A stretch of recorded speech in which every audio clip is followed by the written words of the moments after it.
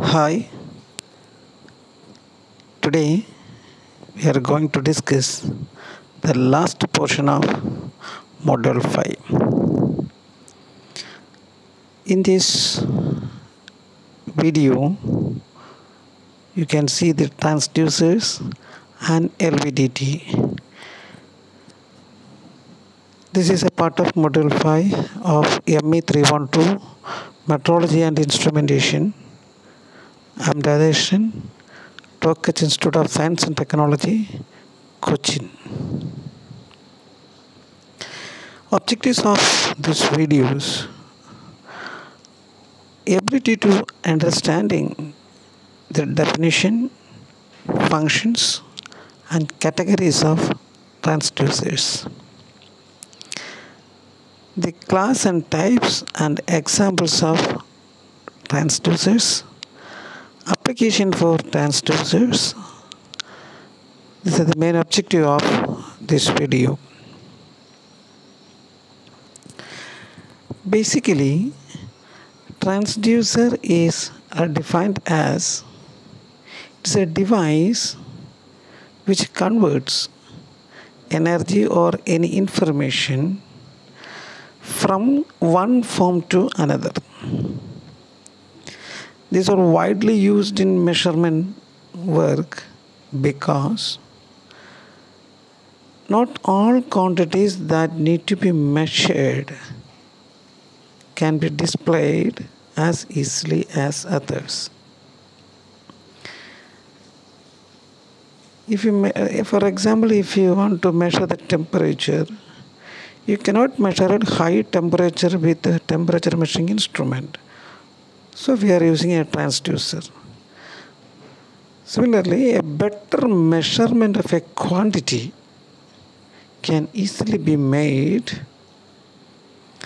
if the parameter or the measurand may be converted to some other form or another form which is more convenient or accurately displayed. That is why we are using transducer that is so for example temperature can be converted into resistance. Then finally the resistance that will be indicated by a pointer or a digital instrument that will be comparable with the temperature again. So that once the temperature measure, measuring instrument is converted to some other signals then finally that, that signal is reproduced back to measurement scale that, that is how we can measure the temperature. Thus, the transducer is a device which provides useful output in response to the specific input measured, which may be physical or mechanical quantity, property, or condition. Transducers may be mechanical type, electrical, magnetic, optical, chemical, acoustic, thermal, nuclear, or combination of any two or more of these. The transducer is a device which transforms a non-electrical physical quantity that is temperature, sound, light, whatever it may be pressure into electrical signals. The electrical signal be voltage, current, capacity, resistance, etc. Transducer is any device that converts energy in one form to another. Majority either convert eh, electric energy to mechanical displacement or convert some non-electrical physical quantities such as temperature, sound or light into an electric signal. This is what we are uh, got it from the previous slide also. This is what is happening. That is input. We are giving input or any signal. Transducer converts to output energy or signal.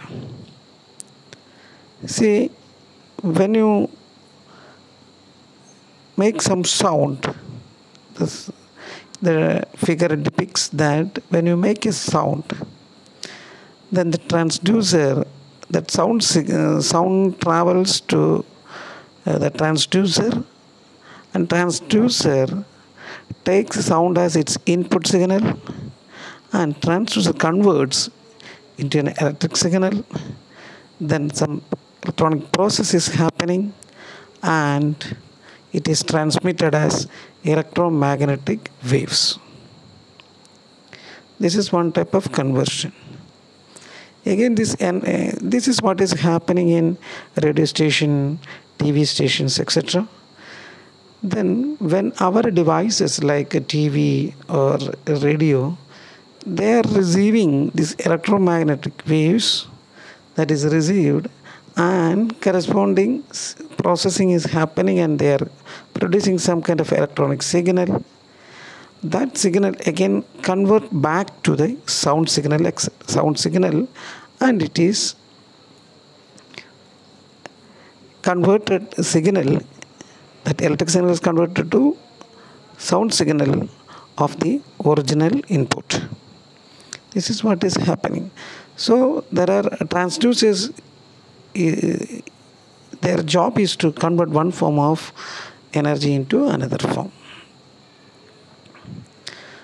So functions this to sense the presence magnitude change in and frequency of a measurement. After that to provide electrical output when appropriately processed and applied to read out device and gives accurate quantitative data about the measurement measurement we have seen in the previous classes measurement means anything that we want to measure any parameter which want which we want to measure is called uh, measurand suppose temperature pressure strain length angle whatever it may be. That is called measurand see the structure of transducer is there will be input there will be a sensor and an output. This is the structure of a transducer. Important parameters that is one is static response. For anything it is a measuring device that is why it has static and dynamic responses. That we have seen in the first uh, video of this module that is static characteristics and dynamic characteristics.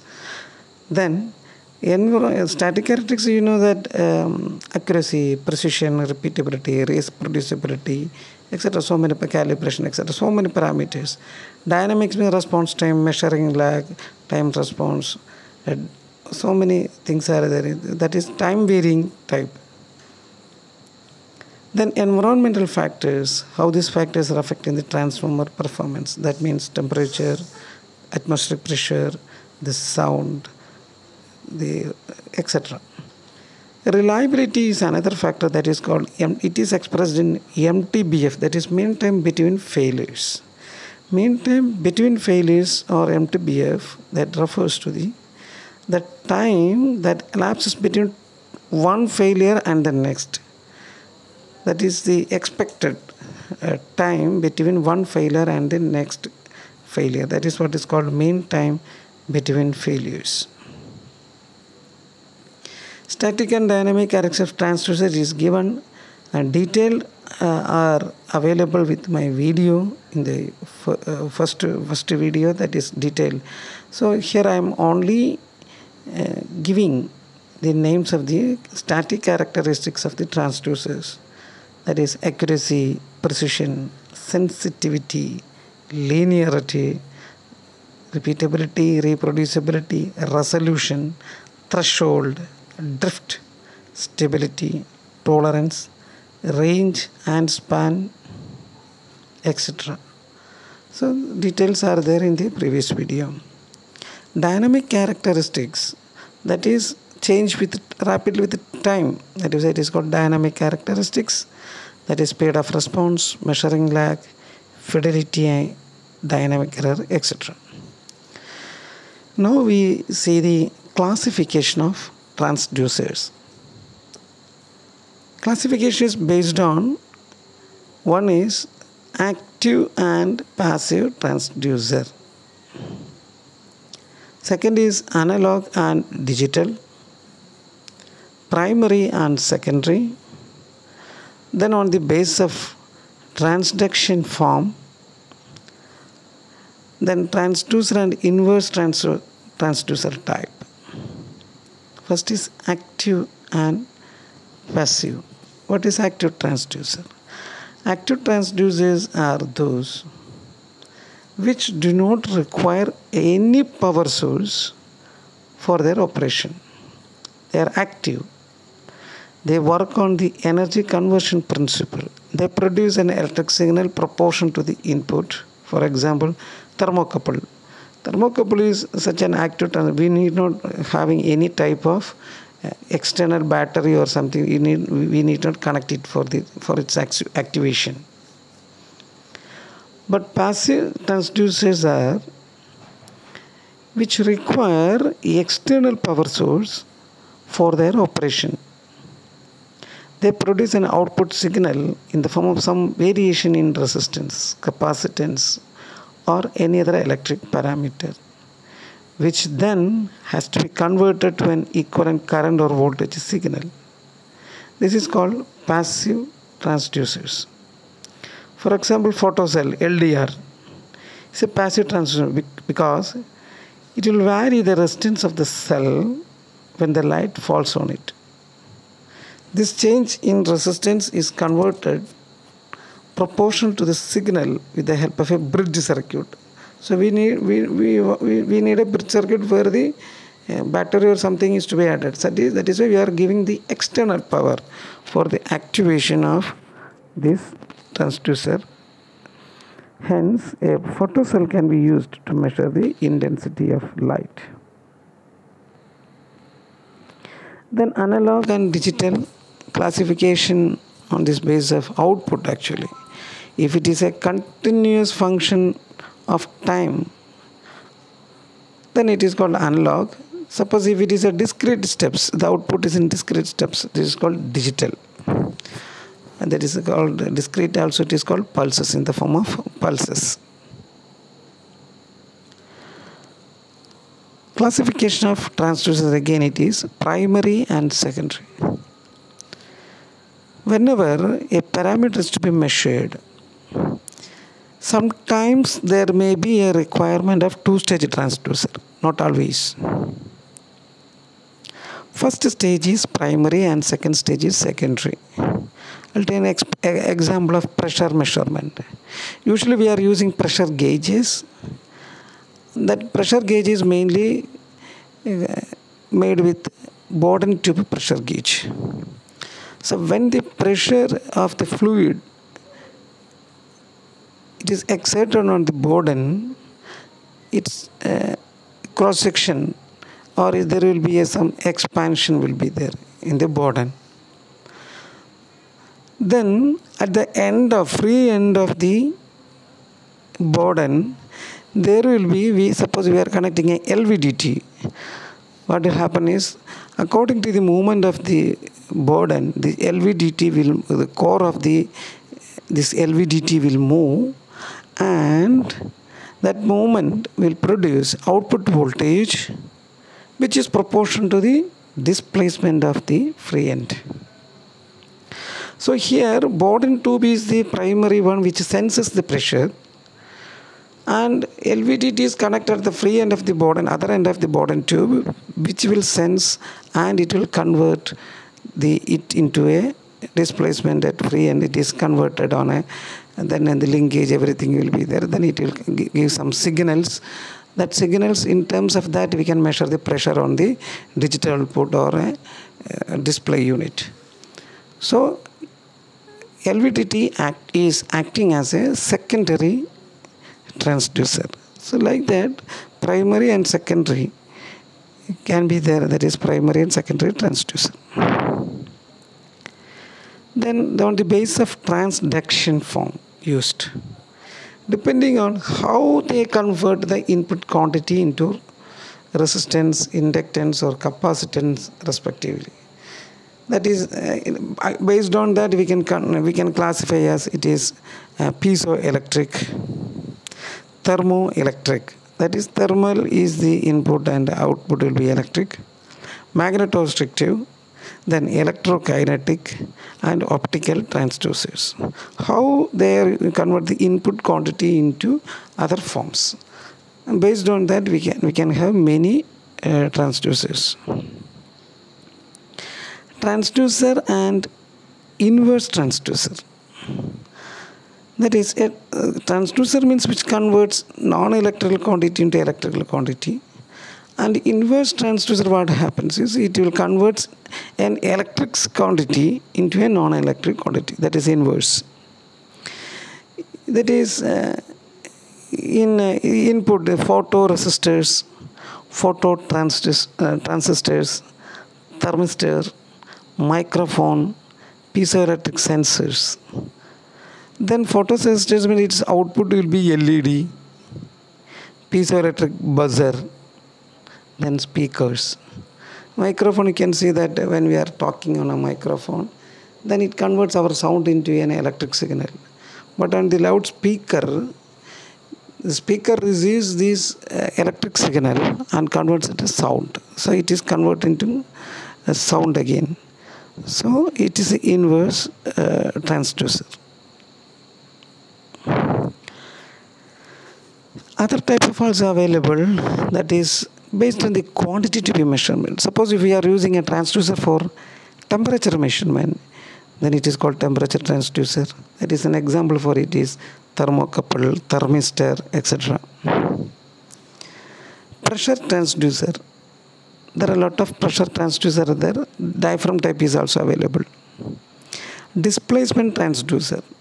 The movement that is linear movement uh, can be measured with the help of this displacement transducer. That is what is called LVDT linear variable differential transformer. That we'll see later. Then flow transducers. That is also used in uh, flow measurement. Some transducers which converts the flow into a signal. From that signal it is converted back and we know the uh, flow characteristics then type of transducer is based on principle of operation. Some uh, transducers are working on photovoltaic because solar cell. Some is working on piezoelectric. Then some transducers are working with chemical. Then some is mutual induction, electromagnetic. Then Hall effect that means the production of potential difference across an electric conductor when a magnetic field is applied in a direction perpendicular to that of the flow of current. Similarly, photoconductors, that is based on the light. Application is very important for LV, uh, this transducer, that is electromagnetic applications.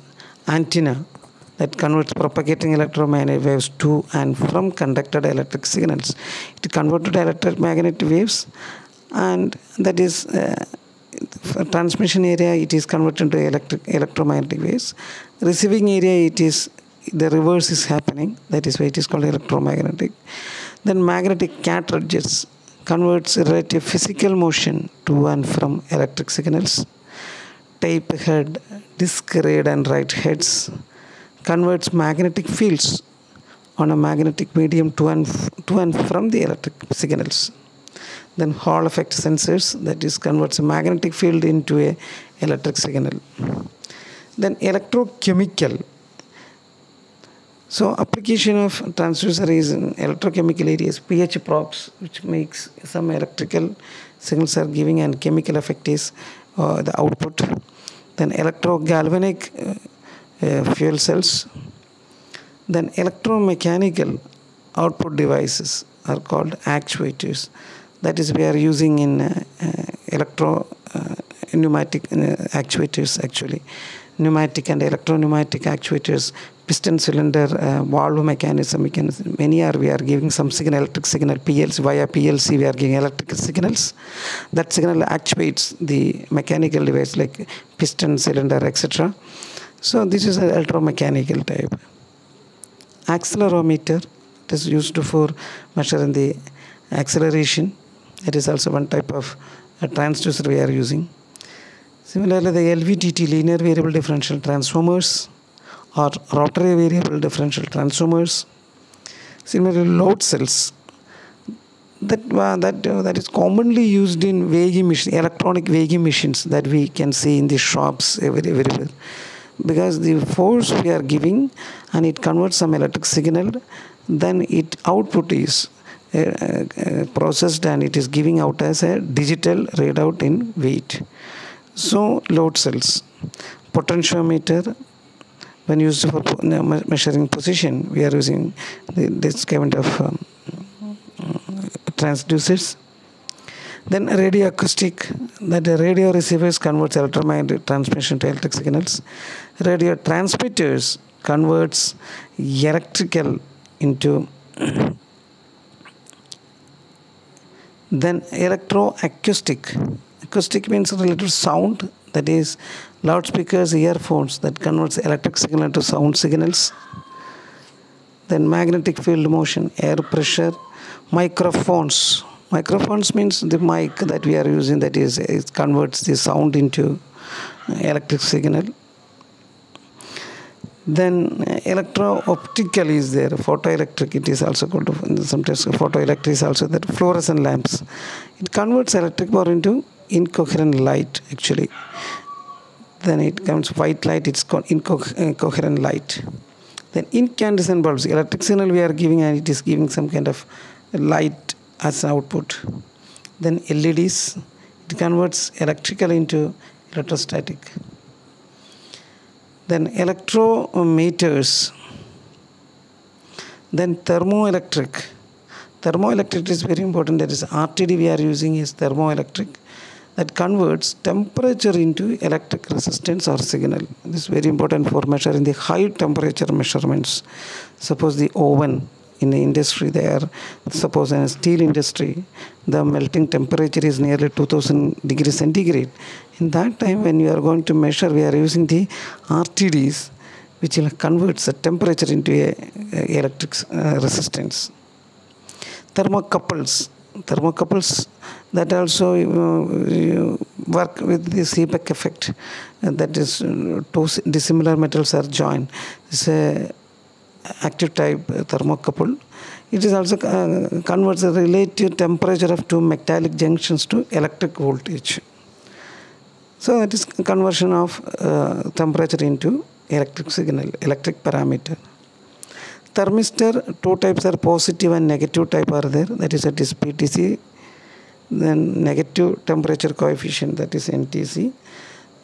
PTC means it is proportional to the uh, temperature then NTC means when the temperature is increased, the resistance will decrease. That type of thermistor is also there. That is NTC type. Then radio acoustics, radio receivers, radio transmitters can read and understand. Then Geiger counter, which is used in nuclear industry, that is the radiation levels using a transducer called Geiger-Müller tube. So it is used in nuclear industry especially microphone and speaker. Microphone convert sound pressure waves into electric current and the speaker convert electric current back into sound pressure waves. And also many other applications also there. Say strain gauge. That is one, one the, the strain gauge means the strain gauge is a very thin type of strain gauge that is bonded with the material whose strain or stress is to be measured while we apply some force then it will elongate. The elongation with the material the strain gauge also will elongate having some kind of uh, changing length that is called strain. That strain when it is come the strain comes means then it will convert an electric it will produce an electric signal. And the change in the resistance which is equivalent to the change in the stress is measured with the help of a bridge circuit. This is what is happening in strain gauge. This is LVDT, that is uh, the important application of the um, transducer is LVDT. It is used for a displacement measurement. It is a common type of electromechanical transducer that can convert the rectilinear motion of an object to which it is coupled mechanically into a corresponding electric signal.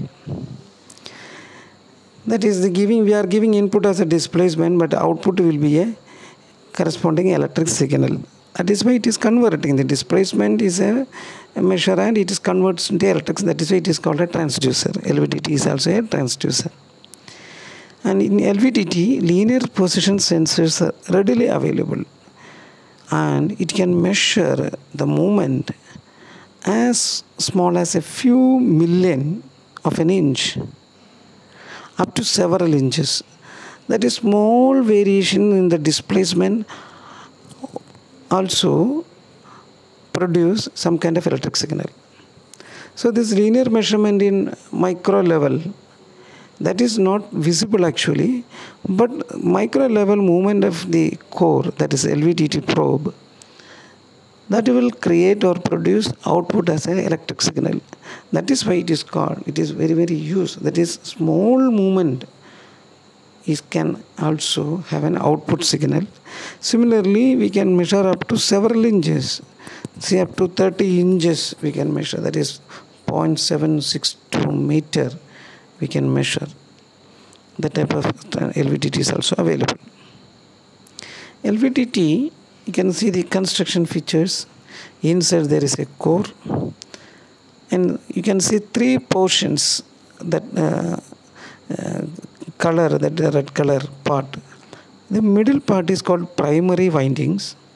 And uh, to the side of left and right of primary we can see the secondary windings so all these things are encapsulated in a shell not to uh, uh, save this unit from stray waves, then magnetic issues, etc. Then it is a high permeability magnetic steel, its body. High density glass filled polymer coil form is the uh, these uh, coils are like that. Then uh, some threaded hole is there in in at the center of the core. There will be a hole that is a threaded hole from which the mechanical assembly can be fitted so that the when it whenever there is a displacement corresponding since it is threaded when there is a movement means the core will move in the transformer's internal structure consists of a primary winding which is centered between a pair of identically wound secondary windings you can see that middle primary left and right of this uh, primary is the secondary. That is, it is called symmetrically spaced about the primary. Primary is at the center, then symmetrically the secondary windings are wound. The coils are wound on a one piece hollow form of thermally stable glass uh, that is reinforced polymer and encapsulated against moisture and wrapped in a high permeability magnetic shield and then secured in a cylindrical stainless steel housing. So when we see from outside, these things we cannot see. The internal uh, arrangements we cannot see. But internally we can see all these things, primary coil, secondary coil, there is a coil which has at the center there is a threaded form, a threaded hole is also there. This coil assembly is usually the stationary element of the position sensor. This is a cross-sectional view of uh, LVDT. So you can see the centrally core, then the middle uh, windings are primary, left and right is uh, secondary coils. See what happens. See, they, they can be uh, three extreme points. One is the middle, you can see the core is exactly at the center. So the EMF from both secondary will be nullified and it will be zero value. Suppose the core is moving to the extreme left, maximum left. Maximum left means E1 will be more. That is, E1 means leftmost uh, secondary windings will have an output signal. So that will be dominating one.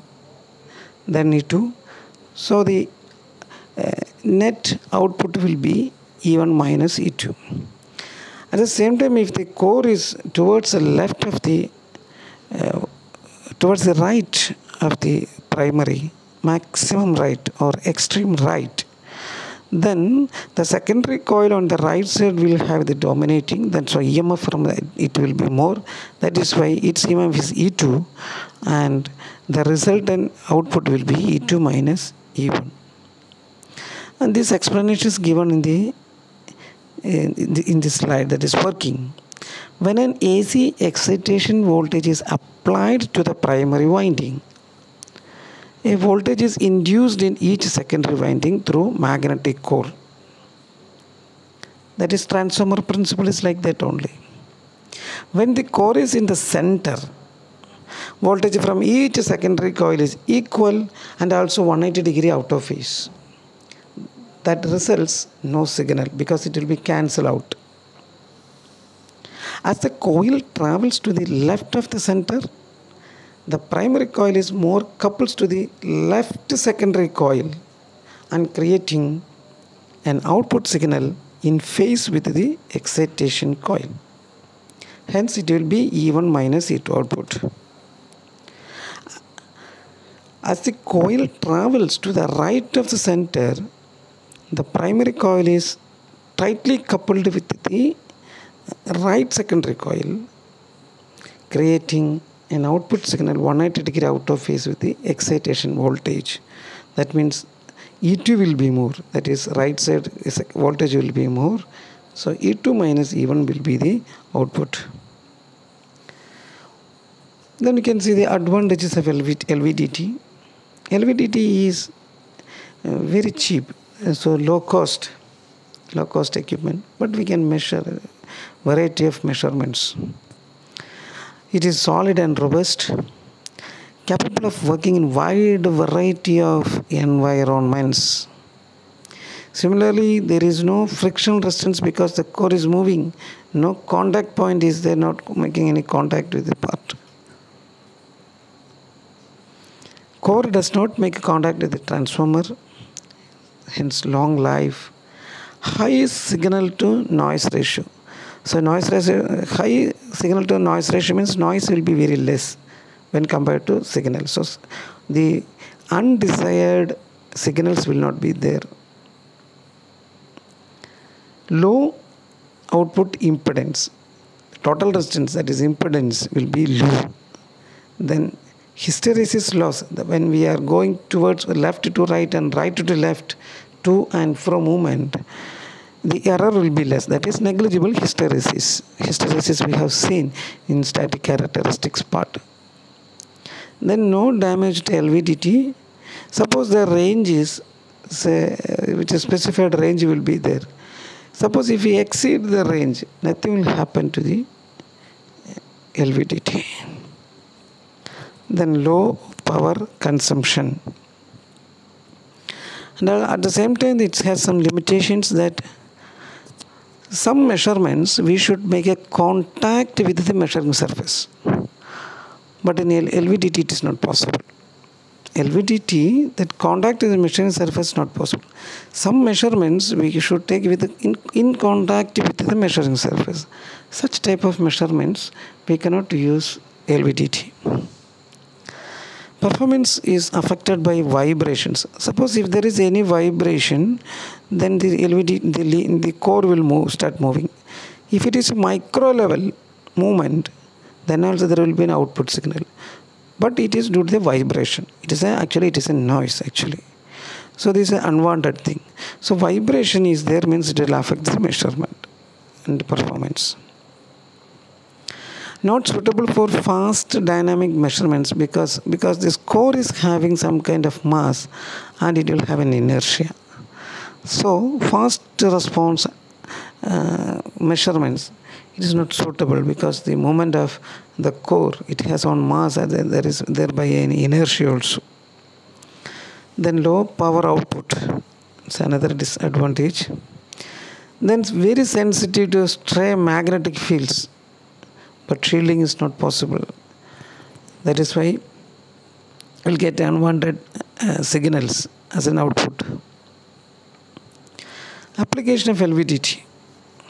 Apart from displacement, we see uh, the displacement measurement we are using LVDT. It can also be used for uh, as extensometer that we are using in um, extensometer we are using in strength of materials laboratory where the uh, tensile testing is done. The elongation uh, well we, we are giving for the uh, load loading conditions. The material is loaded and the tensile stress is applied. So what is the extension? Where we can use extend as extensometer. Then it can also be used as temperature transducers. Then butterfly valve controls servo valve displacement sensing we can use lvdt similarly measurement of deflection of beams. Beam will have some deflections. Suppose if we are keeping lvdt how much is deflected? We can see. Then strings then load cells then force transducers because everywhere this uh, some kind of displacement is happening. Applying force means there is some displacement. So there we can use the lvdt as a sensing element. Then pressure transducer that we have already seen in uh, direct and in uh, primary and secondary transducers. This lvdt can be used as uh, for pressure measurement. Measurement of thickness variation of workpieces uh, suppose if you want to measure it uh, so lvdt we can use. Suppose there is a thickness variation means wherever the thickness variation is there there will be some displacement. So from that we can calculate the thickness variation of the workpieces. Then profile measurements and sorting the products by size. That is uh, some industries they are using the lvdt for lvdt is always contacting with the component. Suppose that uh, suppose components coming with the same dimensions and thickness it will have it will show some signal. So the operator can know that is the same size. Suppose if it is less means the lvdt will displace more and the output signal will be changed. Uh, so it is a uh, beyond its level then the operator knows that that component is out of dimension. So he can sort the products by size Similarly, fluid level measurements in hydraulic cylinder. So fluid level, uh, because when the fluid level decreases to some level, we cannot operate the hydraulic machines. Similarly, when it is filled, there will be a level. So there will be a displace. So it will displace. Uh, the fluid level will contact with the um, LVDT, and LVDT will give the signals. Like that, we can control the fluid level in hydraulic cylinders. So that's all. That is uh, transducers, type of transducers. Then LVDT, its working principle. Then its uh, application, uh, advantages, limitations, etc. Then this will be. A, I think it is good. Uh, it, it, it will helpful for your studies for the module 5 thank you thank you for listening thank you